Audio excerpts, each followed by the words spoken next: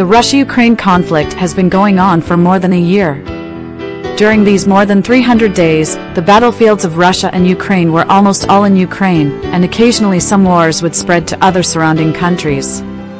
For example, Poland and Belarus were accidentally injured by Ukrainian anti-aircraft missiles. Russia is also occasionally attacked by some drones, but the Russian army has not suffered any serious losses so far.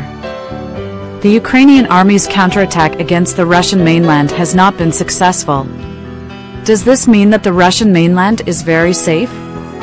This is probably not the case. Recently, there were explosions not far from Moscow. From the media's point of view, the explosion was carried out by the Ukrainian army's drones, and the purpose was to attack the loopholes of the Russian army's defense. According to Greek media reports, there was an explosion recently in Kolomna, a city less than 100 kilometers away from Moscow, which has attracted the attention of the Russian army.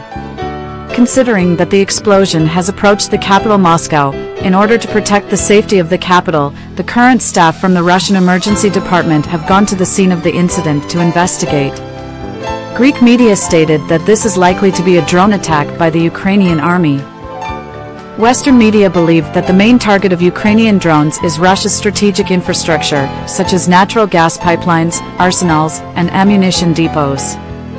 Judging from the penetration capabilities of the Ukrainian army's drones, there are big loopholes in the Russian air defense system. Otherwise, how could there be frequent incidents of drones breaking into Russia? It was previously reported that in order to protect the safety of the capital Moscow, the Russian army has urgently dispatched additional troops equipped with the S-400 air defense system to protect the safety of Moscow. Some analysts believe that the frequent drone attacks by the Ukrainian army are actually attacking the loopholes of the Russian army. The goal is very clear, which is to destroy important military facilities of the Russian army. It is reported that the military factory in the Kolomna region can produce the famous Kinzhal hypersonic missile and the Iskander-M tactical missile. Therefore, it is no exaggeration to call the region a very important missile production center for the Russian army. In addition, it is close to the capital Moscow.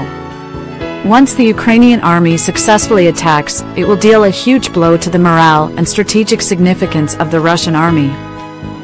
Of course, if the Ukrainian army wants to cause fatal damage to the Russian army, it is still very difficult to rely on drones to break through the layers of defense of the Russian army.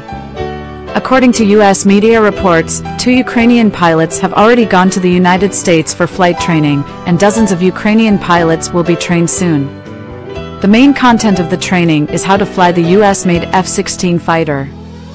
Obviously, the Ukrainian army is very aware of its own weakness, which is the lack of advanced fighters. After the training of these pilots is completed, the F-16 fighter jets will also be included in the military aid to Ukraine.